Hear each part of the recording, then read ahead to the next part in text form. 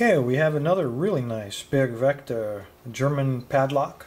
Uh, this one is uh, the Atlantic version. It's a model 217F slash 50 for 50 millimeter. Really a nice lock. The outer casing, although it might look like metal, this is a a plastic uh, weatherproofing thing, to, so it can be used in a marine environment without any damage. Really nice uh, lock.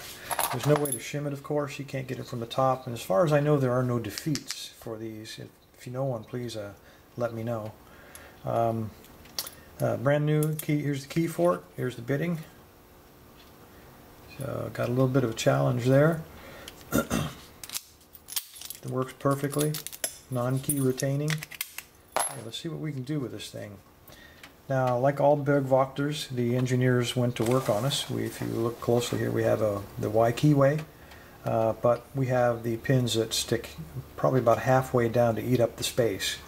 The other way that they kind of cheat us is that if you look at the side here from that first pin, there's not a lot of room to get a top of the keyway tension wrench. We could probably get it, but it would be pretty precariously balanced up there on the top and it would probably fall out uh, about the time we started to put some decent tension on it. So we're kind of forced to use a bottom of the keyway, and quite honestly, it doesn't really matter. We take the thin one, and you can see it does work, and it doesn't really eat up too much of the working space. We're still screwed. We, we still can't access those pins from directly below. So what we have to do is put our pick in sideways through this slot here and then we kind of roll it and we just like picking dimples we got to roll it and figure out if the pin is binding or not or if it's giving feedback or not and then if it is if we roll it and it does give feedback then we kind of have to turn the pick and come around the corner pick him eh, hopefully setting him successfully then retreat back to that space and, and then continue down inside of the keyway to the next pin to detect the next pin so it's quite a bit of a challenge so uh, I told you these Burg Wächters are a lot of fun, and that's one of the reasons. The other reason is they're all, of course, uh, security pins, so they're not going to cut us any slack whatsoever. So let's go ahead and start uh, start picking this thing. I'll hold it down here so we can all see it. See what we can find. Okay, it looks like the third pin has already given us a false set. And let's see what we can do with that. I mean, that was like a free gift. So let's see if we can find it. Another pin that might be binding. It feels like the second one is. So let's, while we're here, let's go ahead and try to set him. And now it looks like we lost our false set. Well, we know who where he lives. And there we go, we got it back already. Continuing down see what else we can find here. Okay, looks like pin four, giving us a little bit of feedback. Let me see if I can position this right on the tip of it since you're kind of guessing about where it is when you go around that corner. And I believe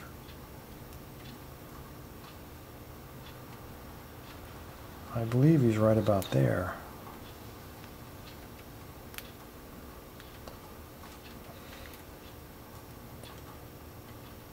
Let's give it a shot.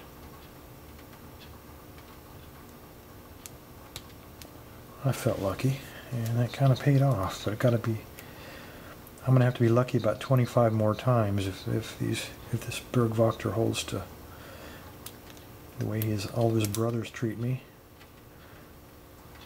Okay, I'm on the fourth pin, got a little feedback, we come around the corner, and there's a set. Let me check everybody in the back of the bus here. Looks like three popped out, so I might as well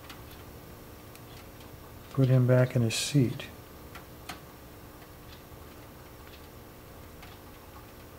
Well, I'm glad I didn't do that because it turned out to be two.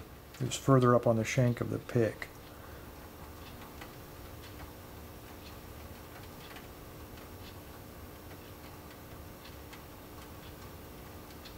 Come on.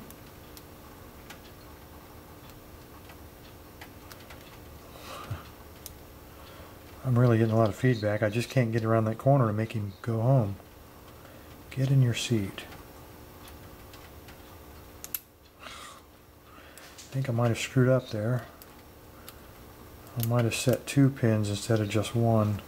So what I'm going to do, you've, seen this trick before.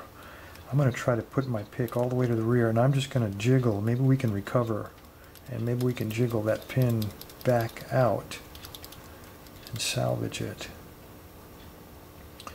I don't know, but while I'm there, I'm going to go ahead and pick four because I'm right on him. There we go. So we, we definitely have not lost everything.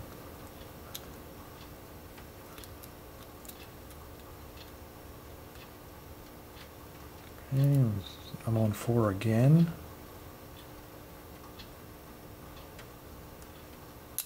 Okay, got him again. I'm being lucky multiple times here. Three's back out.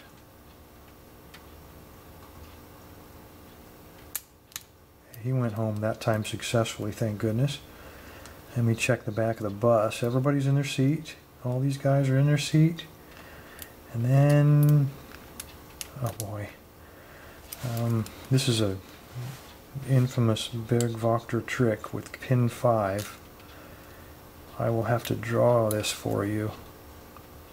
These engineers, every time I go to Germany, when I'm in my rental car, I'm praying I can find a Burg Wächter engineer walking on the street. I can run over him with my car. These guys are good. Okay. That one was all the way at the bottom. That's why I was kind of freaking out. Because they're really difficult to get in under. And this last one is the same way it feels like. Let me do this jiggle, just settle things down a little bit. And I still have a false set. That tells me that that last one, yeah, that last pin is begging, but I don't know. He's, there we go. Oh boy, what a pick. I'm almost sweating. Let me show you what happened. And the, the Burg Wächters and even some of the Abuses are infamous for this little trick. Let my ruler be the bottom of the keyway. Let me uh, find a simulated pin. Here, we'll just use this. Here's a chamfer. I've only got one, so this is the last pin. If it'll stay still there.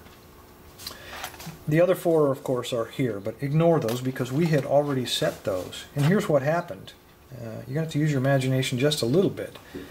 This pin was all the way down on the bottom, literally touching the bottom. Uh, and what I had to do is, remember the curved keyway, I couldn't get my pick under him because he's, I'm using a medium hook. I have to because of the wide variation in, in Burg Wächter and Abus. You can't use a normal hook, uh, successfully anyway. So I used the medium hook. I couldn't get him under there, so what I had to do is I had to actually turn him sideways, slide him under, and then once he was under there, I had to roll him up. And of course, he didn't want to set very high. So now I've got this down there, and then I had to set him up a little bit, pull back, set him up a little bit, pull back, and then I could get my the tip of my uh, pick on the tip of that pin. Only then could I get the pressure and get the leverage I needed to it, push him up. If I had tried to do it simply from here, I didn't know where I was, so it'd be pretty difficult to set him effectively. I couldn't have the right leverage, and I wouldn't be sure I could do it right. I probably would have lost it. Anyway, I have bored you enough. I've killed you with details. I apologize for that, but I find this, to me, this is interesting. This is a, a game where you beat a mechanical device, and I do it. I try to do two or three of them every night. Anyway, thank you for your time again very much, and um, uh, be safe and always be legal. Thanks a lot. Bye.